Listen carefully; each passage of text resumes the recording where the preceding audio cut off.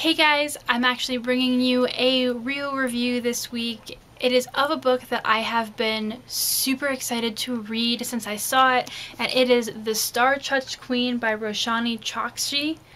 And just look at it, first of all, it's so pretty. And then secondly, this top blurb up here, which you might not be able to read um, because it's kind of far away, is from Sarah J Maas And if you don't know, Sarah J Maas is like my favorite author of the moment of all time. Potentially, we'll see how that stacks up.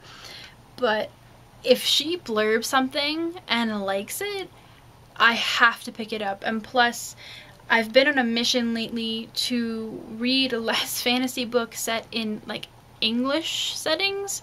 So this was a perfect, perfect choice for that. The main character's name is Maya, and she is the daughter of a sultan who is at war with a bunch of other countries around him, and he hopes to get rid of this war issue by marrying his daughter off to one of these princes who is fighting him, and it does not go as planned. She ends up being chosen or choosing because um, technically in her marriage ceremony she's supposed to have the choice but it ends up not really being her choice this guy named Amar is the guy who says well if you marry me um, I'll be able to save you because at her like choosing ceremony the whole place goes to things that is a four letter word that I shouldn't be using in these videos. Um, every, she gets attacked, her, she thinks that her whole family is being killed, and this guy basically says that if you come with me, like, we'll be able to save them. And he ends up taking her away to this mystical, magical place called Akaran uh, through the Night Bazaar, and it's basically a whole new world where the fantastical is real, and of course there is some secrets along the way. He's not who he says he is and it turns out that she is not who she thinks she is. But anyways, the plot is beside the point, and here's why. This is a really confusing book plot-wise, um, and character-wise. When you read this, it reads like a beautiful poem that you're trying to understand. And it's one of those things where if you if you read poetry you get that feeling where you're reading something and you know that it's beautiful and your heart's being tugged in a million directions and you're in love with the writing but you get to the end and the meaning doesn't spell itself out to you. You have emotions and you have feelings but the interpretation is muddled. And that's how I felt about this book the writing in this book in terms of lyricality, in terms of poetry and prose, is phenomenal. It is I'm literally at loss for words to describe the level of writing in this book. Um, in terms of how pretty it is, in terms of how well this book puts together a plot, puts together characters that make sense and build there it fails a little bit because the poetry and the language doesn't come out into extremely connected prose. And there is a lot going on in this book a lot of new magics to understand culture to understand.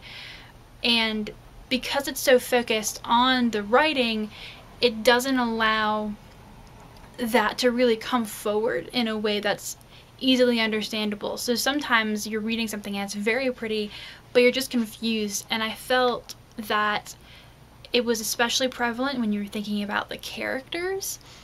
The characters in here, I think, really needed more depth than they got. Like, I loved the characters. I loved Maya, for instance, but they just didn't get the attention and the the depth that they deserved um, because they were literally just existing in this very pretty poem that kept moving and that ended up making the plot feel subservient to the writing in the way that it also just felt like and then this happened and this happened to the characters as opposed to the character creating the plot and making choices. I really thought that Maya was going to be a stronger character than she was and that was upsetting because I really wanted to love her in that way as well. But so it goes, you know, I think that this is her debut. Don't hold me to that, but I'm pretty sure that it is. And if that is the case, I tend to grade debuts on a different scale than I might grade a book for an established author. And this if this is a debut then it is a beautiful sparkling debut that I'd put on par with A Fierce and Subtle Poison which is a book that Bibliomancy for Beginners just did and because I mean it's just beautiful I, I that's a word I keep reusing but I don't know how else to describe it. Um, if that is something that you value in writing don't even think about it. Don't hesitate. Go pick this book up right now. If you want to focus more on plot than writing I'm not sure how satisfying you'll find this. You definitely won't find it unsatisfying because there is enough to hold it together, but when you really start to interrogate the book and the choices of the characters and the characters themselves, they don't stand up really well just because of the lack of information given to you about them. So it's a push-pull kind of thing. This is the first in a series for sure. I do know that because I went and I looked and I added the next couple of books in the series to my TBR because again, if this is the first book that she's written, if this is the first book in this series, I am really confident that the level of writing can only uh, go up and maybe this series won't ever have the kind of plot that I look for in books, but I there is no way that someone who writes like she writes will ever write like a book that I won't enjoy at least for that purpose. So I'm really excited to follow the rest of this series and her career and see where she goes because I'm excited. This is a book that is somehow even prettier than its cover on the inside in terms of writing. So yeah, that is my review of The Star Touched Queen by Roshani Chokshi. And like I said, if you love pretty writing, please go pick this up. Please just go do it. Don't even think about it. Just go. Thanks guys. Bye.